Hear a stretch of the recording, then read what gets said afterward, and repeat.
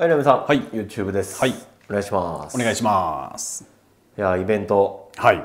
トーク、ライブ、はい。お疲れ様でした。お疲れ様でした。楽しかったですね。楽しかった。いや、この本のね、出版、出版記念イベントね。はい。いやー、楽しかった。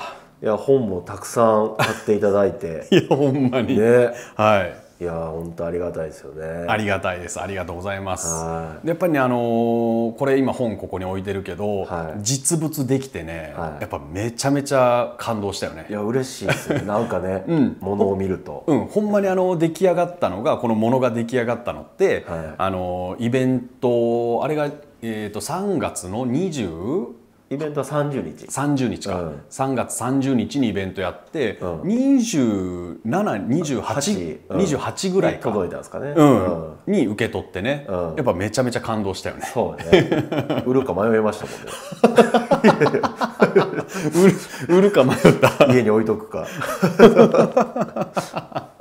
いやでもほんまね、でも結構ね皆さん来てくださってね。いやほんまにありがとうございます、ね。でだから前回やったら、うん。あの告知動画を出して、うん。えっと3時間そうね大体ね。うん、3時間とかでもう全部埋まってしまってね、うん。でもたくさんその行きたかったですけどチケット売れ売り切れてましたとかっていうお声もいただいて、ねありがたい話ですよ。いやほんまに。ほんまにね。どうやったんかな。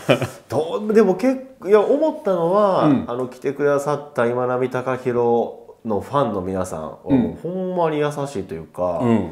よう笑ってくださいますし いやこれね、は今今波貴弘ファンの皆さんじゃなくて、今波貴弘の YouTube チャンネルね、はいはいはい。今波貴弘のスポーツメンタル TV ファンの皆さおーはいはい。んだからあのファンよ。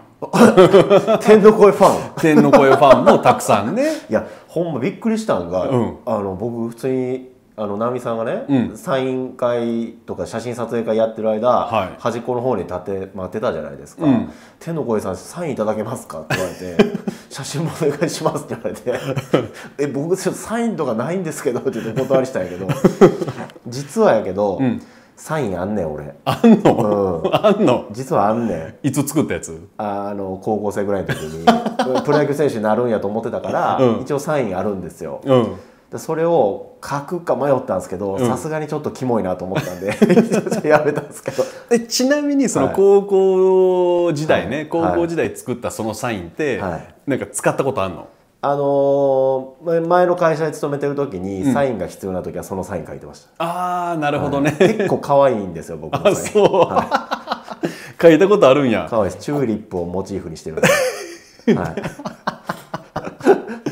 あれさあの、高校生とかさ、まあ、中学生、高校生の時ってみんなサイン考えるるやん、はい。ただねその考えたサインって、はい。実用化まで至らないのよ。そうね。いや僕めっちゃ可愛いです僕のサインほんまに。それを実用化してるとしてました、はい。女子受け抜群。で だからどこ目指してんねん。プロ野球選手になるつもりなかったよ、当時から。やったわ そうそうそう。そうか。それを書けなかったと、いやまあちょちょっとね、うん。サインしてる自分想像したら気持ち悪いなと思ってうん。やめちゃいました「すみません僕なんてそんなサインなんて」って言ってお断りしたんですけど、うん、ただおほん写真だけ。ただほんまはあったと。本当はねもう書きたくてうずうずして。だからまあプロ野球選手の気持ち分かったよね、うんプロ野嬉しいよな。うんプロ野球選手になって、うん。初めてサインくださいって言われた時のそういうことやね嬉しいよな。一発目。マジで緊張するからね、そうやな。そう最初はね家族とかはいはい知り合いとかにちょうだいとかって言われて書くんやけどもうその時は緊張なんかせえへんわけよ、うん。まあ、最初はちょっと嫌やけどさ、うん。ただあの初めてファンの方うん。にサインくださいって言ってサインする時ってその気持ちよ。そうやな、うん。なんかこそばいというか、うん。照れくさいというかね。そうやね。ん。っていうところでね。なるほどね、うん、でまあねあの前回80人の規模で、まあ、ちょっと会場とかも、まあ、僕ら初めてやるイベント、うん。ね、初めて自分たちの、ね、手作りで。そうね。っていうところでまあ本当にあの来てくださった方にはねあの、ご不便をおかけした部分もすごく、ね。ちょっと至らはいない点もあったかと思いますけどね、第2弾やりましょやりますか。いつやります？う、うん、前回の反省とかねいろいろ踏まえて,、踏まえて。でサインも書きたい、うんサインも書きたいということでね。っていうことであのねどうするっていう、ね、いやまあだからタイミンだから今回はうん。あれじゃないですか、あの出版記念トークライブやったんで、本のね。そうこの本の力もお借りしてう、ん。なんとかこうねうん僕らも踏ん切りついたじゃないですか、はいだからその効果でかチケット買ってくださったっていう先行発売っていうのもあったからね、まあね。のもあるのかなっていうのがあるので、うん。次集まってくれるのかなっていうのもちょっと心配は心配ですけど。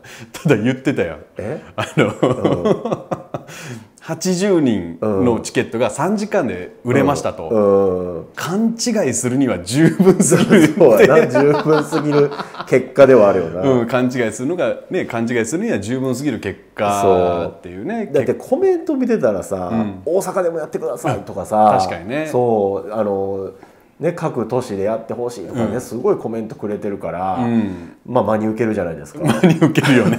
真に受けるよね。そう。うん、ねえだからだからまあタイミング的にはあれじゃないですか。やっぱ10万人ちゃいます、そうやね、うん、次は。達成して、うん。10万人達成記念でやったらいいんじゃないですか、だからそうやね。チャンチャンネル登録者数10万人記念、はい。えー銀の盾、えーお披露目会。いだって抽選で1名様に。やいやそれはそれやばいやんでもそれだから区切りとしてはそこじゃないですか。そうやね、はい。でそこでうん。どうね、うん。どのくらいの方が興味を持っていただけるのかっていうね。はい。うん。